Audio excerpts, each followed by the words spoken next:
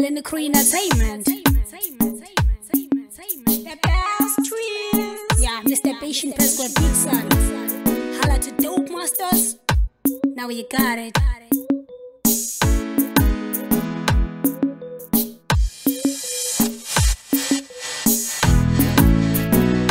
Kau bangu Khawuye kuba ngukhomela kwesakhe. Khomela kwesakhe.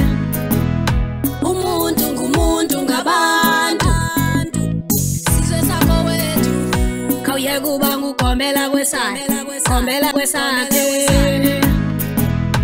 umuntu umuntu ngabantu sizwe sakho wethu khawuye kuba ngugombela kwesandla gombela kwesandla umuntu ngumuntu ngabantu wayefuna ukudla wedwa funa ubonwa wedwa zinto zenza wedwa nobhizi uhlekisa ngaye kodwa mbona uyohluleka ingane ziyahluleka wena ubhizi uhlekisa ngazo kodwa zibona ziyahlupheka bantwana bakowethu sizwe sakowethu masibambisane njengokhokho bethu ngokhokho bethu Let's love one another, respect one another, peace, spirit, unite, collaboration.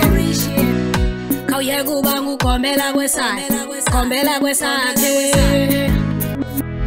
umuntu ngumuntu ngabantu sizwe sakho wethu khawuye kuba ngugombela kwesakhe gombela kwesakhe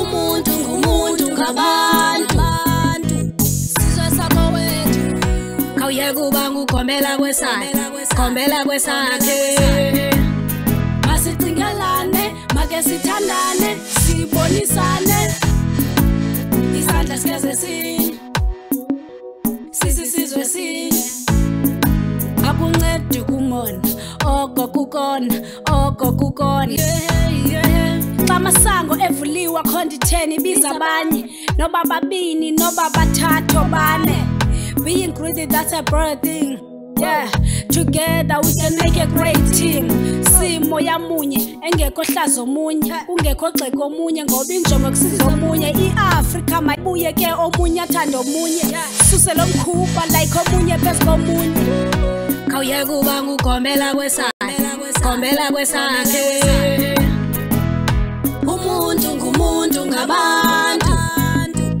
sizwe sakho wethu khawuye kuba ngugombela kwesakhe gombela kwesakhe umuntu ngumuntu ngabantu sizwe sakho wethu khawuye kuba ngugombela kwesakhe gombela kwesakhe